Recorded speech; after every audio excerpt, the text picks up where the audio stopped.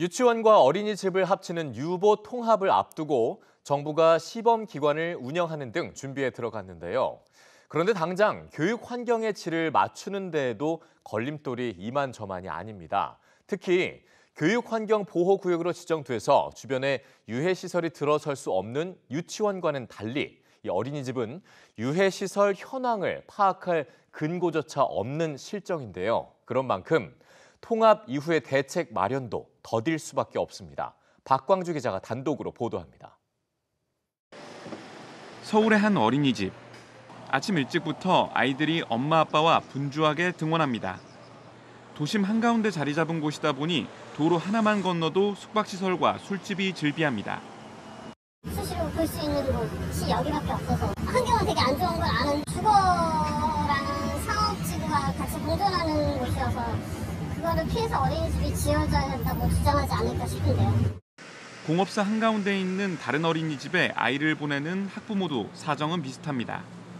유치원 근처에 있는 것 같아요. 조금 차공소 때문에 뭐 들어올 때도 살짝 그 냄새가 나기도 하고 좀 네, 개선됐으면 더 좋죠.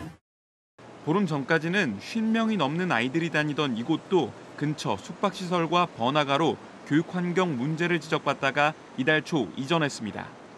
만 3세부터 5세까지 아이들이 다니는 유치원은 현재 교육 환경 보호에 관한 법률로 법적인 보호를 받고 있습니다. 숙박시설은 물론 담배 자동 판매기, 성인 게임장, 오염 물질을 배출하는 공장 등은 유해 시설로 분류돼 이점 자체가 제한되는 겁니다. 유치원을 기준으로 직선 50m 반경은 절대 보호구역으로 엄격한 보호를, 200m 반경까지도 상대 보호구역으로 규제를 받습니다. 하지만 어린이집은 현행법상 학교와 같은 교육기관이 아니어서 유해시설 규제 대상에서도 빠져 있습니다. 문제는 어린이집 인근에 현재 어떤 유해시설이 있고 어떤 조치가 필요한지 파악할 자료조차 없다는 겁니다. 법적으로 교육기관이 아니어서 파악할 근거가 없기 때문입니다. 교육부는 다만 유보 통합이 이루어져 가칭 영유아 학교로 통합되면 교육환경 보호구역에서 포괄할 필요가 있다고 밝히면서 내년에 통합법 제정에 착수하겠다고 밝혔습니다. 의무가 없기 때문에 실태 조사도 하나도 안 돼 있는 거죠. 그러면 그 부분을 미리미리 체크해야 되는 거죠. 그래야 통합이 되는 거잖아요. 부동산이나 이런 부분들 비용들이 엄청 높을 텐데 저는 굉장히 심각한 문제를 어, 야기할 수도 있겠다.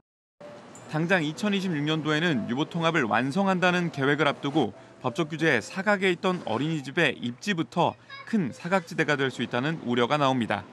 EBS 뉴스 박광주입니다.